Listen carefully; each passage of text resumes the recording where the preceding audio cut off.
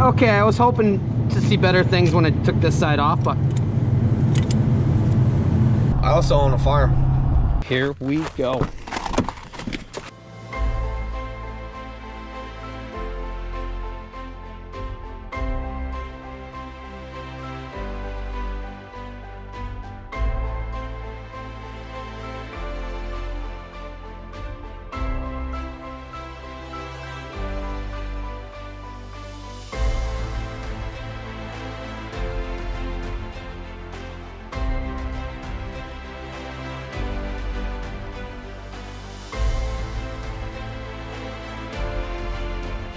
You're now watching the 2024 season of Farming with Duffy Ag. Welcome back to the channel. Swept up the floor a little bit. Got some dirty benches, but it is where we're at right now.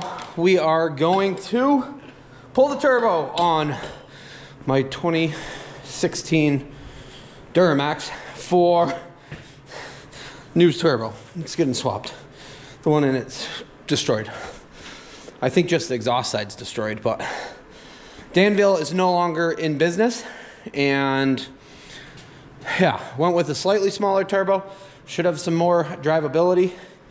And uh, yeah, went with Dan's. So we will see. We got a Dan's transmission controller, but it says it will be here Monday. So it's Friday right now. Figured we might as well pull it, get that all figured out, and then um, truck will be in the shop. But we can, if the weather gets nice, we can pull the corn planter outside with the 46 and we can pull the semis and we got some work to do on them to get them to 100% but alrighty.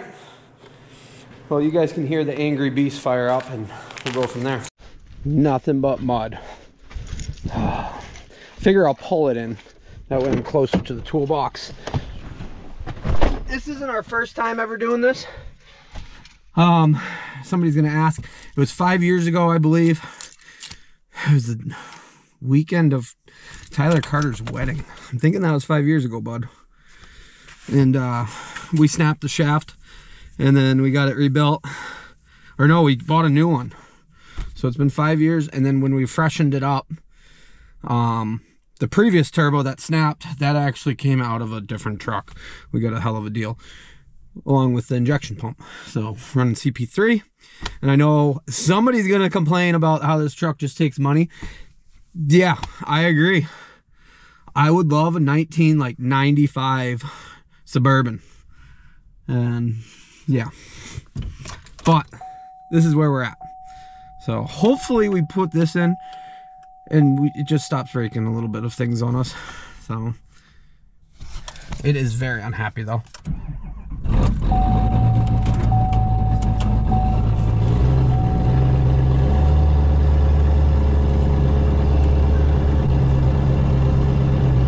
It'll smoke like anything because the exhaust is literally, the turbo is not connected, so it has no power.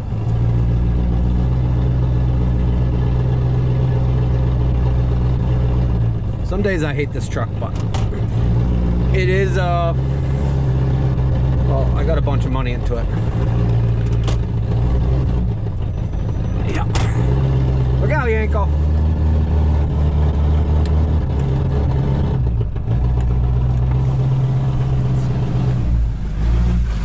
We're gonna hit this curb. There we go.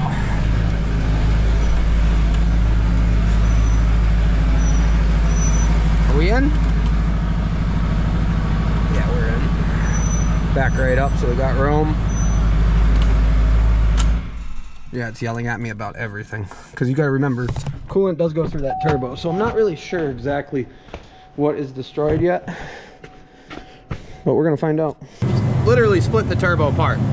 Um, so it's pushed apart. So what we have to do is take off the intake, take off the boost pressure pipe coming this way. That turbo, a few, honestly, a few pieces, and that's going to come right out. The front housing.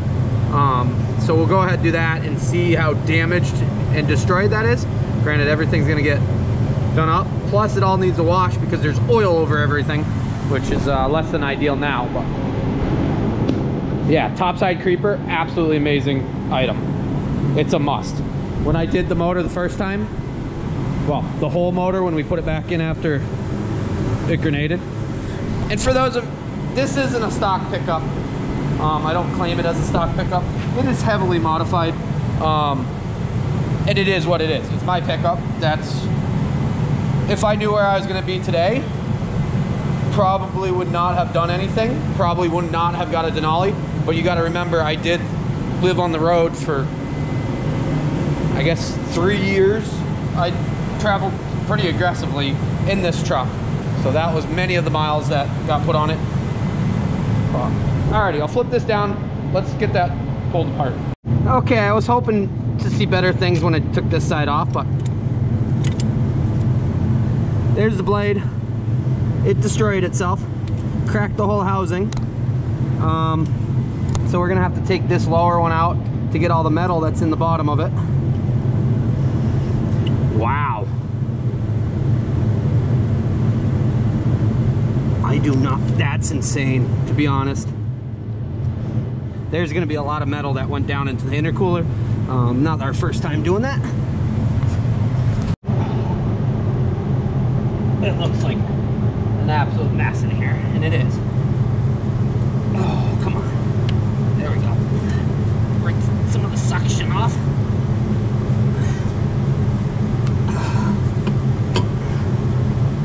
Oh yeah.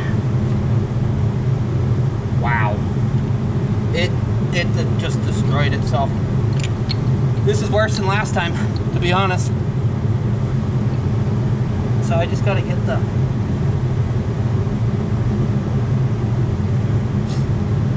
the hose clamp for the drain out.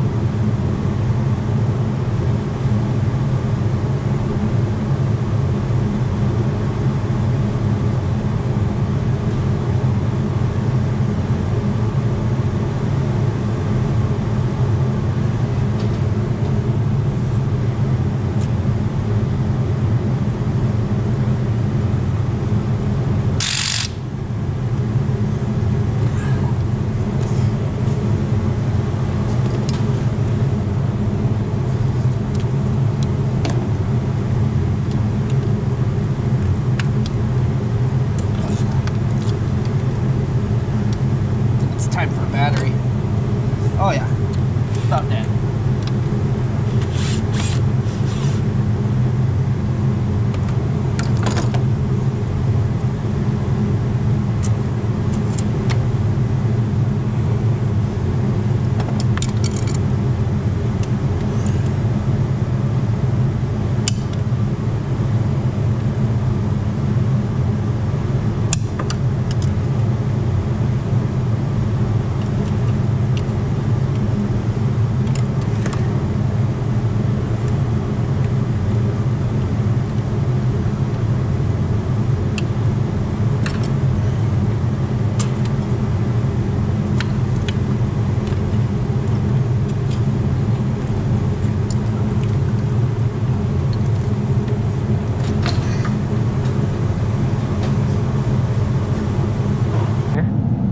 But uh, yeah, that probe is all bent inside of there.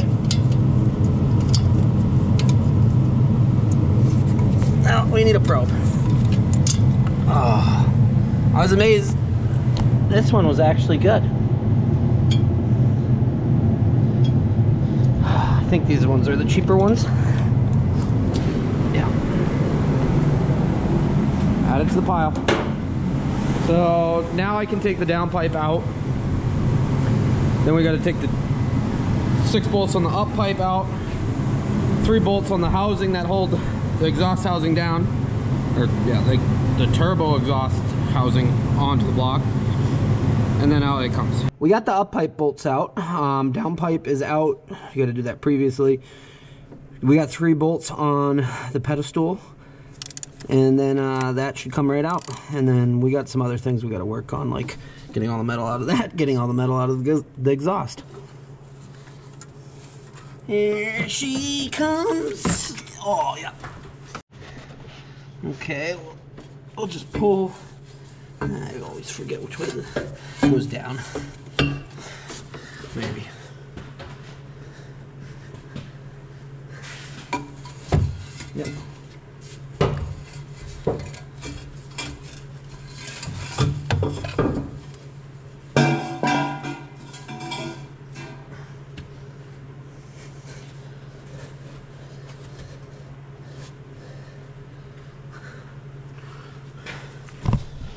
Okay, now I gotta figure out, get in there and, um, yeah, see how much junk is in there. Use the Vevor bore scope, and yeah, there's a ton of metal inside of there. So we gotta figure out how to get all that out. I'd really rather not pull the whole intercooler, but by the time it gets there, the boost was already dead because it had blown up. So yeah, usually the intercooler's good and everything's good there. It's just we destroyed. Well, you got to get it all out of there. Well, I've been digging out all the metal that is sitting in the intercooler. Borescope definitely helped. Um, let's see, that's our or uh, turbine. But I'm trying to get all of it with these 90 degrees or yeah, bent wrenches. Very challenging because it all turns. I'm trying to figure out what else I got to actually be able to get in there and do that.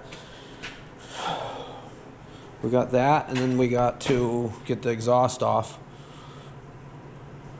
Yeah, I got to figure out where the oil leak is. There's a slight oil leak somewhere.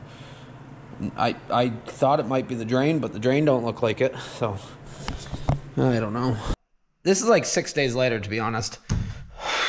Been absolutely hammered with manure hauling.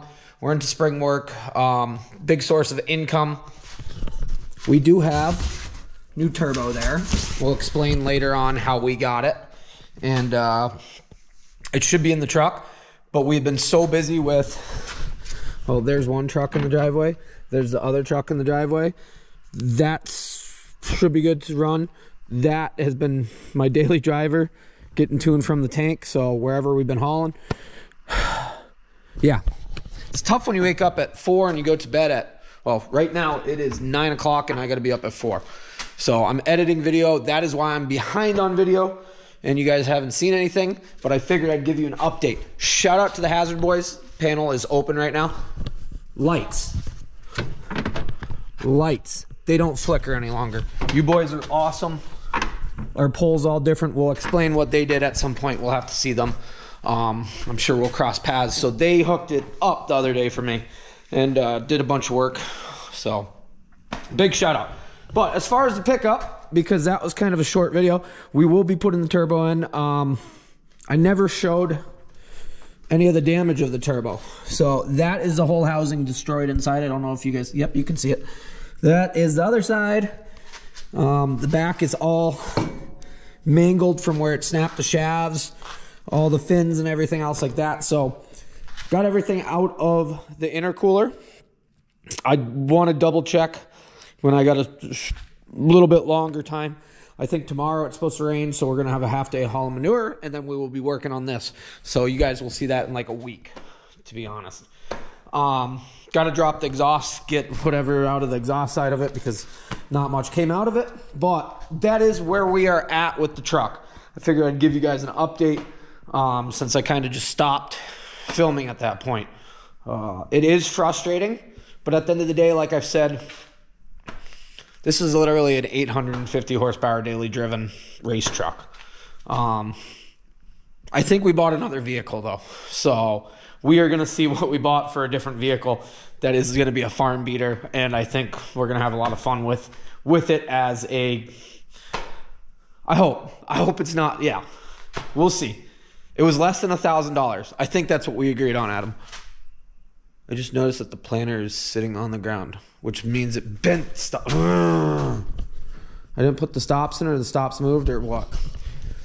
Well we might have more work to do on the planner this is what happens when, yeah, I'm scattered brain. But, alrighty, that's where we're at. I appreciate you guys watching along, all the support. Um, took two days off because I got home and I just couldn't edit video. I was exhausted. So, worked on the one truck. We had some breakdowns. Today was actually pretty good. Haven't filmed that much some of the days. So, there's some manure hauling content coming. But I'll see you guys on the next one. Make sure you like and subscribe. And, uh, yeah, have a good one.